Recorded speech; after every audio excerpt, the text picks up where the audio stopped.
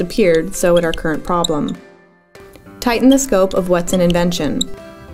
Last year, Apple took Samsung to court, claiming Samsung ripped off the iPhone. Samsung lost and was ordered to pay Apple $1 billion, a number that's quickly being amended. One of the patents that Samsung supposedly breached? Apple's notorious patent on the shape of their iPhone, a rectangle.